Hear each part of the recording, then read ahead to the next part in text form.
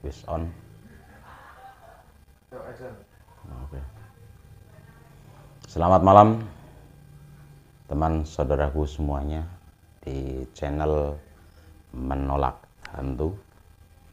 Pada malam hari ini saya ingin memberikan penjelasan tentang sejarah peradaban bangsa Banyumas. Mungkin ada banyak rekan teman yang bertanya-tanya, sebenarnya bangsa Banyumas itu bangsa seperti apa? Mengapa meskipun menjadi bagian dari bangsa Jawa, tapi memiliki keunikan yang berbeda. Uh, kita melihat dari flashback kita ke sekian juta tahun yang lalu, kita bisa melihat peradaban bangsa Banyumas melalui peninggalan berupa situs Gunung Padang yang bisa kita lihat di daerah Majenang. Jadi situs Gunung Padang tidak hanya ada di Jawa Barat saja, tapi ada juga di wilayah Majenang, Kabupaten Cilacap.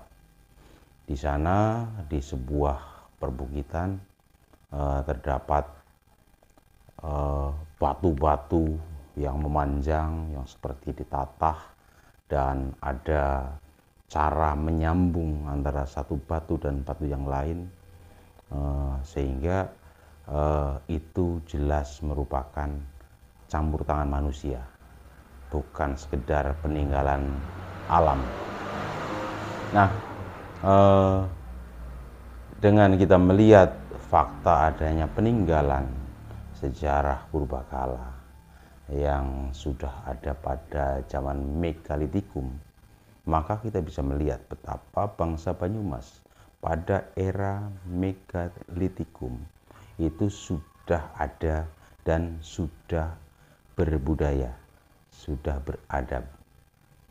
Nah, uh, ini berlangsung terus-menerus uh, dengan adanya fluktuasi perkembangan zaman, adanya kerajaan-kerajaan besar yang ada di Nusantara, seperti uh, kerajaan uh, Galuh Pakuan, kemudian kerajaan Kalingga, Mataram Kuno, kemudian Kediri, Singasari, kemudian sampai ke Majapahit, Demak, Pajang, Mataram hingga Surakarta, Yogyakarta. Ini eh, peradaban selalu silih berganti, bermetamorfosis dengan perkembangan peradaban yang berada di wilayah uh, lokus pusat kerajaan. Sehingga ketika di bagian barat dari Jawa uh, ada kerajaan-kerajaan seperti kerajaan Kandaga, Galuh, Galuh Pakuan, apa Galuh Purba ya, Galuh Pakuan, Galuh Pakuan Pajajaran atau kerajaan Pajajaran. Sedang di si timur uh, ada kerajaan Kalingga, uh, yang berturut-turut sampai dengan Kasunanan Surakarta dan Yogyakarta yang masih bisa lihat kita artefaknya sampai sekarang. Ini uh, betapa uh, bangsa Jawa ini sudah memiliki peradaban maju sejak pada masa-masa uh, purbakala. Kita bisa melihat juga artefak-artefak purbakala yang terdapat di lereng Gunung Selamet. Sepanjang lereng Gunung Selamet, uh, kita bisa melihat betapa banyak peninggalan purba yang kemudian ditambah lagi dengan peradaban Hindu uh, yang berlangsung menjulur ke timur sampai dengan Gunung Dieng. Ini uh, ada banyak sekali peninggalan-peninggalan yang bisa kita lihat sekarang sebagai fakta-fakta sejarah peradaban masa lalu. Nah, persoalannya mengapa bangsa Banyumas ini uh, menjadi unik uh, dalam konteks peradaban Jawa dan memiliki kekhasan sendiri. Ini kita bisa melihat uh, karena positioning bahwa wilayah Banyumas Raya yang ada sekarang ini berada di antara dua kutub budaya besar, yaitu budaya Sunda dan budaya Jawa.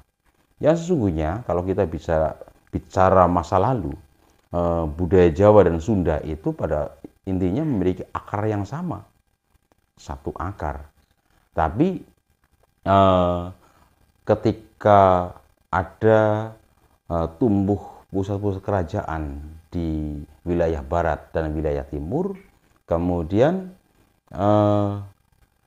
apa mereka menciptakan pola dan kultur sendiri-sendiri yang selanjutnya mereka semakin ada kesenjangan perbedaan dalam konteks hidup sehari-hari, dalam konteks nilai, dalam konteks perwujudan nilai-nilai dalam konteks berbudaya ini uh, semakin ada kesenjangan perbedaan yang bisa kita lihat sekarang betapa kultur Sunda dan kultur Jawa ini berbeda. Nah, uh, kemudian ketika kita berbicara tentang kultur Banyumas, kultur Banyumas ini berada di wilayah antara kedua kutub budaya itu. Di barat ada kutub budaya Sunda, di timur ada kutub budaya Jawa. Kemudian eh, baik kutub budaya Sunda maupun Jawa ini sama-sama melakukan pergerakan perkembangan eh, dari yang dari timur berkembang ke barat, yang dari barat berkembang ke timur. Dan ini bertemu di wilayah Banyumas Raya ini.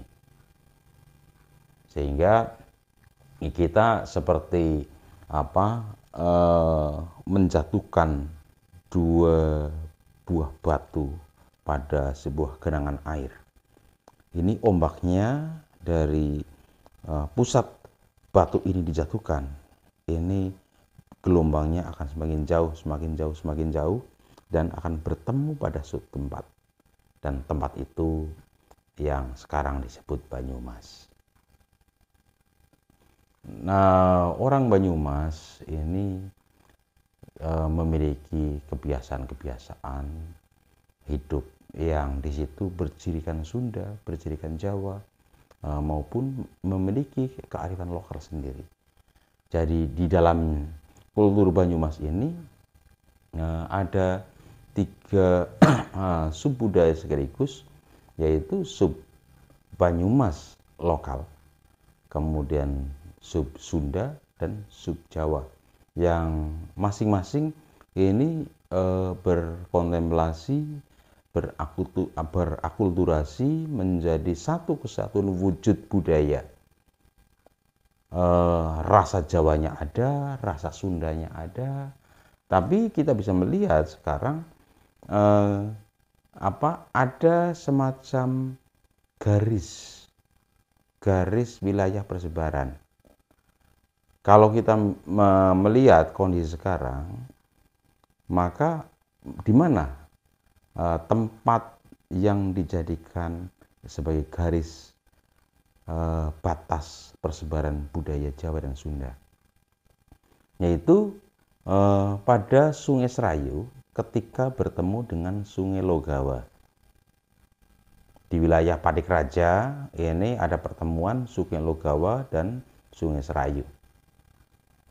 Yang berada di wilayah barat Sungai Serayu ini rasa Sundanya lebih kuat, sedangkan yang berada di timur Sungai Serayu ini rasa Jawanya lebih kuat.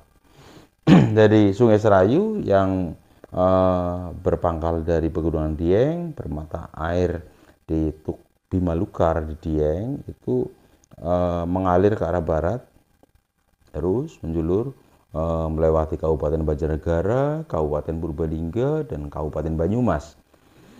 nah, di wilayah Kabupaten Banyumas, ketika eh, Sungai Serayu bertemu dengan Sungai Logawa, ini berbelok ke arah selatan untuk menuju ke wilayah Kabupaten Cilacap dan bermuara eh, di wilayah eh, Teluk Penyu. Nah, uh, apa pertemuan Sungai Logawa dan Sungai Serayu ini menjadi batas kultural. Apa buktinya? Uh, ada bukti-bukti konkret yang bisa kita lihat. Salah satu di antaranya, umpamanya apa nama-nama desa. Nama-nama desa di wilayah barat Sungai Serayu yang setelah bertemu dengan Sungai Logawa ini banyak menggunakan kata-kata ci seperti Cilacap, Ciberem, uh, Cinangsi, Cipicung, Cilongo, uh, Cipudas dan seterusnya ada banyak ci ci ci yang uh, ci dalam bahasa Sunda itu berarti sungai. Artinya bahwa nama-nama desa itu merupakan bagian dari eh, pengaruh Sunda terhadap Banyumas pada masa lalu. Ini berbeda dengan di timur Sungai Serayu. di timur Sungai Serayu tidak ada eh, nama-nama eh, daerah yang menggunakan istilah Ci. Ini salah satu. Kemudian kita bisa melihat juga artefak peninggalan berupa uh, ragam-ragam kesenian.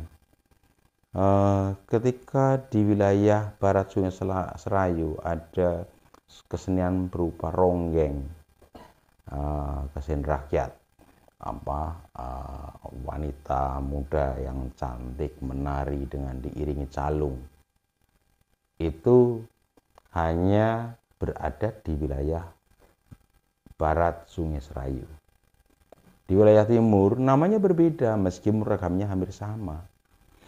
Di wilayah timur pada masa lalu kita uh, lihat ada tayub, ada lengger, uh, ada janggrung, uh, yang semuanya sebenarnya sama, tapi berbeda. Ya sebagai contoh, uh, ketika di wilayah barat uh, iringannya calung, maka di wilayah timur iringannya ringgeng.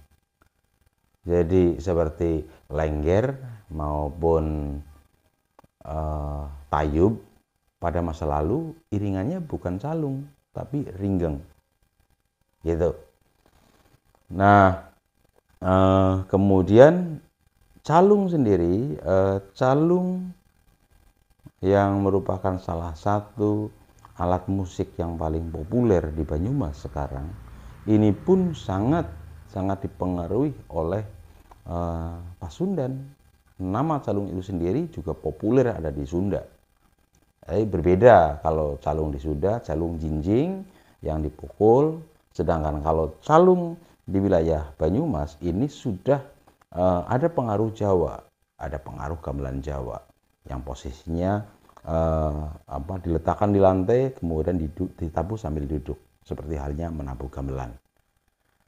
Nah, ini uh, dari peninggalan-peninggalan berupa ragam kesenian, nama daerah dan seterusnya.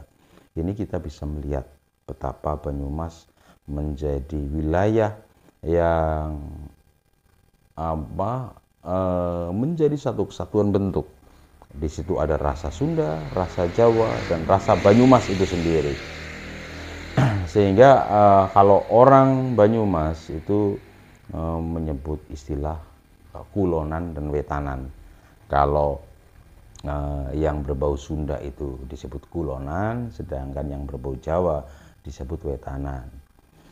Dalam berbahasa pun kita bisa melihat betapa apa uh, ada diksi atau kosakata yang mirip-mirip Sunda di wilayah Banyumas. Seperti umumnya kata meren, mirip dengan meren. Meren dan meren ini sama artinya. Uh, sepertinya, kayaknya, kemungkinan. Ya, seperti itu. Uh, sedangkan di wilayah timur Banyumas ini lebih banyak kosakata yang Eh, banyak ditemukan pada istilah-istilah istilah-istilah pada bahasa Jawa. nah, uh, ada banyak kemungkinan bahwa pada masa lalu kerajaan-kerajaan besar pun ada di wilayah, di wilayah Banyumas. Seperti ada yang mengatakan bahwa uh, negeri Galuh Purba itu sesungguhnya ada di lereng Pegunungan Selamat. Karena kenyataannya di lereng Gunung Selamat ini ada uh, banyak sekali peninggalan-peninggalan masa lalu, baik sifatnya peninggalan purba Eh, peninggalan prasejarah maupun peninggalan masa Hindu. Ah, eh, tapi ya, kita belum tahu persis apa sesungguhnya yang terjadi. Karena ha, kalau hanya berdasarkan artefak itu kita belum bisa mendapat penjelasan tentang rinci tentang eh, sejarah-sejarah uh, kerajaan kuno itu. Sedangkan di daerah lain ada prasasti, mungkin ada peninggalan-peninggalan berupa ompak, berupa apa namanya uh, bangunannya, bangunan utama dari kerajaan. Sedangkan di Banyumas sama sekali tidak ada. Yang kita tahu bahwa orang Banyumas memiliki dua leluhur sekaligus. Leluhur Jawa dan leluhur Sunda leluhur Jawa uh, patronnya adalah Majapahit. Orang Banyumas selalu uh, mengatakan bahwa leluhur mereka adalah Majapahit. Tapi leluhur Banyumas juga uh, ada di barat di uh, Pajajaran. Artinya Pajajaran maupun Majapahit ini sama-sama leluhur bangsa Banyumas. Jadi uh, orang Banyumas tidak akan mengklaim uh, hanya satu leluhur saja, uh, Majapahit saja atau Pajajaran saja, tidak, itu dua-duanya. Uh, di situlah uh, kita bisa melihat apa istilah caruk bawor, caruk itu bercampur, bawor juga bercampur, uh, percampuran dua kultural. Seperti halnya pada legenda masa lalu yang kita lihat pada uh, legenda Kamandaka, kita bisa melihat uh, bahwa uh, bangsa Banyumas ini memiliki leluhur uh, Adipati Kandandoho yang memiliki anak Dewi Ciptarasa yang uh, di kemudian hari akan uh, apa di Pinang dan menikah dengan Raden Banyak Cotro yang merupakan anak dari Adipati Siliwangi di Pajajaran. Nah, tapi pertemuan uh, Raden Banyak Cotro dengan uh, Dewi Ciptarasa ini uh, menjadi sebuah pergulatan dan intrik yang luar biasa ketika Raden Banyak Cotro ini Eh, menggunakan nama lain berupa nama Kamandaka. Orang Banyumas banyak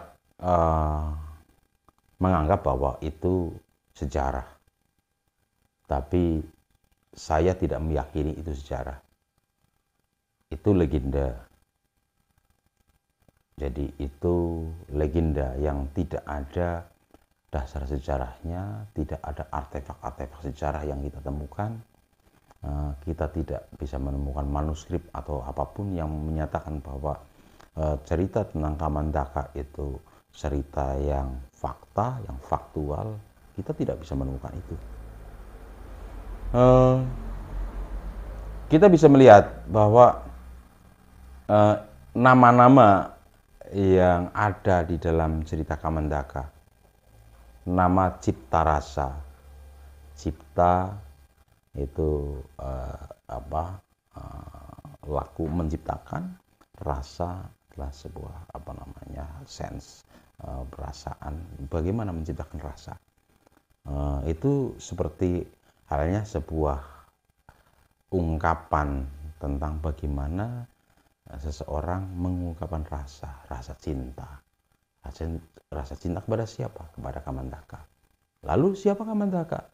Kamandaka itu uh, asal kata dari bahasa Jawa kuno yang merupakan apa uh, apa istilah dengan makna uh, apa yang tersandi laku sandi uh, sesuatu yang bukan sebenarnya jadi kalau kita umumnya laku ngamandaka artinya kita berlaku sandi uh, apa menyusup agar tidak kelihatan artinya kamandaka ini datang uh, ke pasir luhur sebagai sosok yang menyusup agar tidak kelihatan jati dirinya.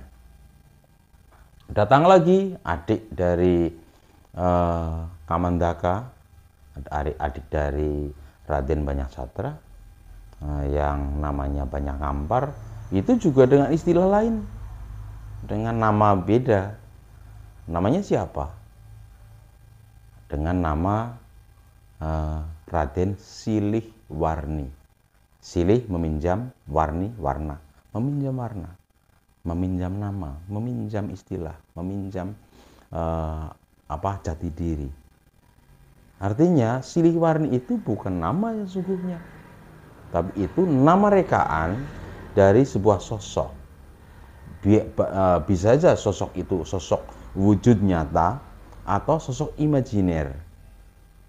Nah, bagi saya yang uh, selama ini mencoba untuk melidik artefak-artefak yang ada di wilayah uh, apa situs yang diperkirakan uh, menjadi basis kekuatan uh, pasir luhur, saya tidak menemukan apa pun yang bisa menjadi fakta sejarah.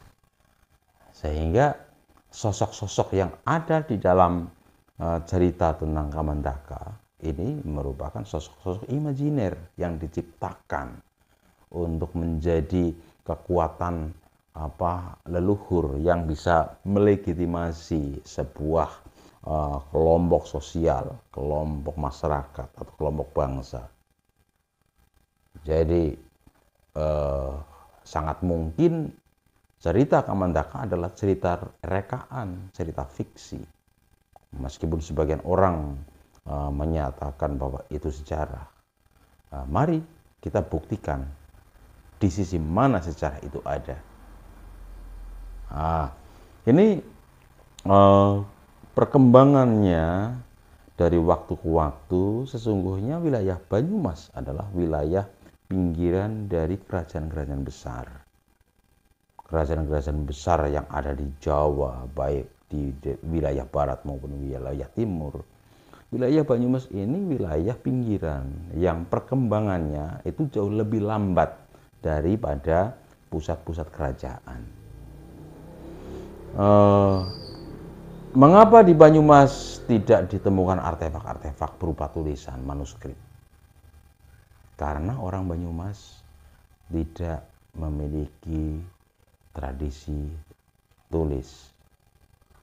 Orang Banyumas lebih uh, berbasis pada tradisi lisan. Kemudian Eh, dari tradisi lisan itu orang Banyumas mampu uh, menghafal berbagai macam momentum uh, yang penting bagi mereka. Mereka memiliki cara untuk menghafal. Seperti halnya umumnya uh, orang Banyumas memiliki cara menghitung tahun hanya dengan uh, jari tahun Jawa yang mereka kenal sekarang itu dengan alif ehe jimawal j dal b wawu jemakir ada delapan tahun. Delapan tahun ini e, mereka hitung e, dengan menggunakan jari. Jima lutu patro nemlu e, orang Banyumas memiliki apa tradisi aboge. Uh, alif jatuh pada rebo wage. Nah, artinya ketika tahun alif itu rebo wage dengan istilah apa hitungan ji, kemudian alif ehe ji ma lima, uh, maka akan dihitung dari hari rebo. Rebo, Kemis, Jumat, Sabtu, Minggu. Pada hari Minggu. sehingga pada setiap tanggal satu uh, Muharram atau satu Surah uh, pada tahun Ehe itu akan berlaku pada hari Minggu atau hari Ahad atau Radite itu jadi uh, hari Rabu Wage itu sebagai tanggal satu Surah tahun Alif kemudian nanti uh, hari hari Minggu akan menjadi tanggal satu surah uh, pada tahun Ehe. Ini perhitungannya nanti uh, akan berlaku terbalik dari dari belakang uh, untuk pasarannya, yaitu uh, apa? Uh, jadi pon, wage, kliwon, pon, wage, kliwon, manis, manis, paing, pon, wage. Ah, jadi kalau tahun Alif itu apa hari Rebo Wage, maka tahun Ehe itu pada hari Ahad Pon.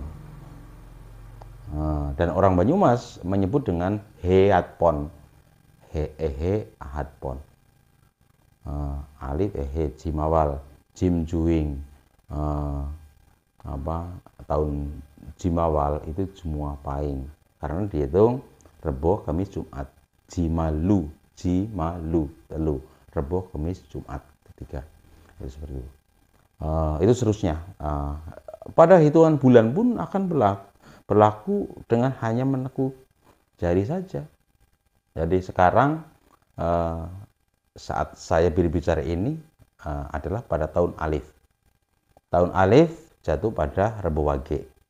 Ini untuk menentukan bulan puasa itu tidak harus melihat matahari eh, apa bulan ter, mulai terbit di ufuk barat. Cukup dengan perhitungan saja. Jadi kalau puasa itu sanemro dihitung dari Rebo Wage, Rebo, Kamis, Jumat, Sabtu, Minggu, Senin. Senin. Kemudian eh, sanemro ro berarti wage kliwon berarti uh, Senin kliwon nah uh, berarti bulan puasa tahun ini uh, yang nanti akan berlangsung pada tahun 2022 ini akan terjadi pada hari Senin Kliwon versi Aboge. Kemudian untuk versi hijriahnya seperti apa? Maju satu hari. Karena uh, orang Banyumas berpikiran bahwa Arab, negara-negara Arab yang menggunakan tahun Hijriah itu melihat bulan lebih dahulu dibanding orang Jawa. Orang uh, Jawa apa melihat bulan kurang lebih dua per tiga hari setelah Arab.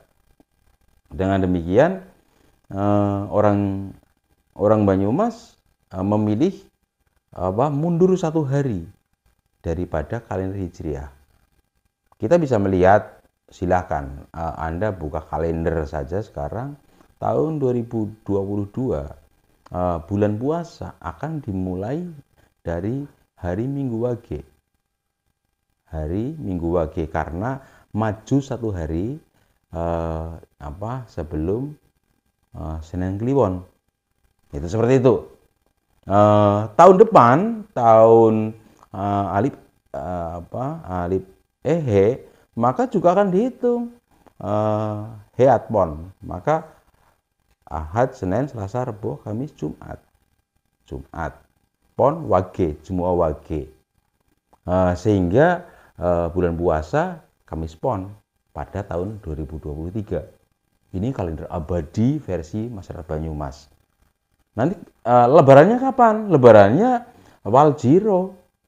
Uh, kalau tanggal 1 suranya itu hari Rebo, lebarannya pasti hari Rebo. Sehingga ketika kita menggunakan versi Hijriah, maka maju satu hari. Uh, lebaran pasti hari Selasa. Sehingga kalender itu akan ada tanggal merah dua hari Selasa dan Rebo. Ah, Apa Selasanya apa? Selasa Wage, Rebonya Rebo Kliwon. Seperti itu. E, kalau tidak percaya silahkan Anda bisa lihat di kalender e, yang sekarang mungkin apa kita sudah bisa melihat. Nah, e, apa ini berlangsung terus menerus dalam pergulatan uh, peradaban yang uh, kita memerlukan waktu lebih banyak lagi dan kita bisa uh, bertemu kembali pada waktu yang akan datang pada sesi berikutnya uh, obrolan kita tentang sejarah peradaban masyarakat Banyumas. Kita belum apa berbicara tentang masa-masa uh, Majapahit, masa-masa Demak, masa-masa Mataram sampai dengan Surakarta, Yogyakarta, masa penjajahan dan seterusnya, apalagi sampai kemerdekaan. Ini masih jauh. Sehingga kita coba apa kupas sedikit demi sedikit tentang peradaban masyarakat Banyumas yang uh, melalui video-video yang ditayangkan melalui channel menolak hantu atau misteri sejarah. Mengapa misteri sejarah? Karena sejarah Banyumas masih misteri. Oke, demikian pertemuan pada hari ini.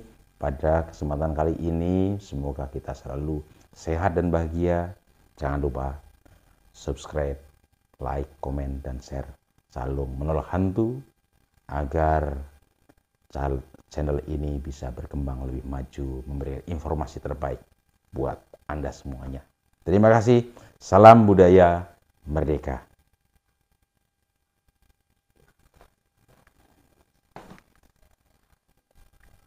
Mungkin gue